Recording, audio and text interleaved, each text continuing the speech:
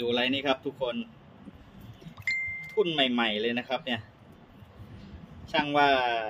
ใช้ไม่น่าจะถึงห้าเดือนด้วยมั้ง นี่นะครับ ขาด ขาดแล้วลูกค้าไปต่ออต่อต่อสายใช้มา ใช้ได้สักพักก็ขาดอีกครับ อ่า เป็นทุนจีนนะครับ ตัวนี้เป็นทุนจีน ปัญหาที่เจอส่วนมากก็คือขาดนะครับ ทุนจีนพวกนี้ จะเจอแบบประจำเลยครับ ทุนขาดมา ขาดเร็วมาก ส่วนมากลักษณะการขาดก็จะขาดอยู่เดี๋ยวนะ จะขาดอยู่ช่วง ช่วงนี้ครับ ช่วงช่วงเกี่ยวลวดเนี่ยครับเขาม้วนม้วนเกี่ยวลวด อ่า ตรงขดลวดเนี่ยเขาจะขดลวดประมาณสองรอบนะครับ ขดขดลวดตรงหลัก นี่นะครับ อ่าเนี่ยขาดนะ ดึงออกมาขาดเลยครับ ตรงหลักเนี่ยนะครับ ตรงหลักนี้เขาจะเขาจะเกี่ยวลวดสองรอบ ช่างบูว่า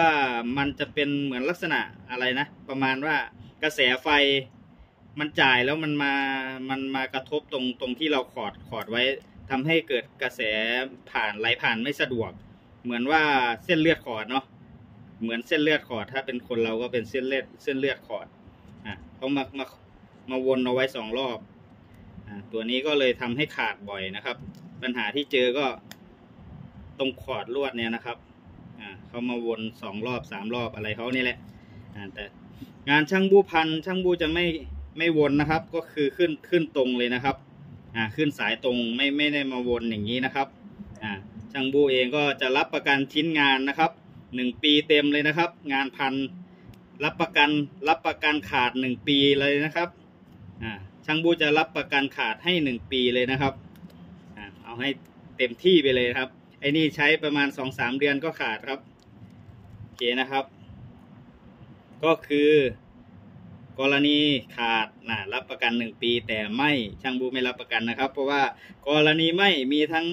เม็ดไดโอดเสียคัดเอาเสียอ่าก็ไม่ได้ โอเคนะครับ เข้าใจนะครับ ฝากไว้ด้วยครับ